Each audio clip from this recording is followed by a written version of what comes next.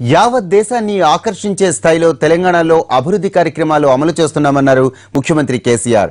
గోల్కొండ కోటలో జరిగిన స్వాతంత్ర్య దినోత్సవ వేడుకల్లో ఆయన పాల్గొన్నారు. పొరుగు రాష్ట్రాలతో స్నేహ బంధాలు కొనసాగిస్తున్నామన్న కేసీఆర్ జనాభా ప్రాతిపదికన ఎస్టీ మైనారిటీలకు రిజర్వేషన్లు అమలు చేస్తామన్నారు.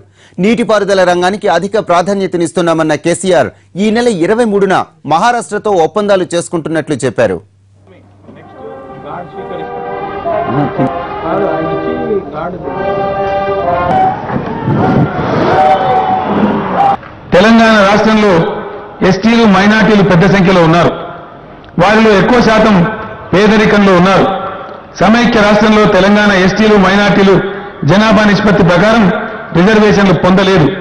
ఎస్టీలు మైనార్టీల స్థితిగతులను అధ్యయనం చేయడానికి చెల్లప్ప మరియు సుధీర్ కమిషన్లు వేశాం. ఆ కమిషన్లు ఇటీవలే నివేదికలు సమర్పించాయి.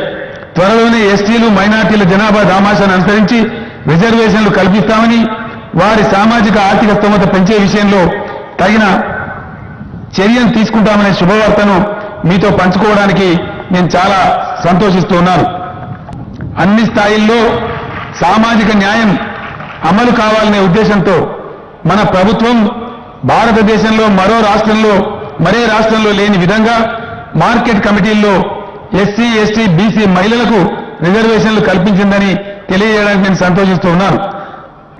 పేద బ్రాహ్మణుల కోసం బడ్జెట్లో వంద కోట్ల రూపాయలను కేటాయించడం జరిగింది. వారి అభివృద్ధి సంక్షేమం కోసం తగిన పథకాలు త్వరలోనే రూపొందించబడతాయని మీ అందరికీ నేను తెలియజేస్తూ ఉన్నాను.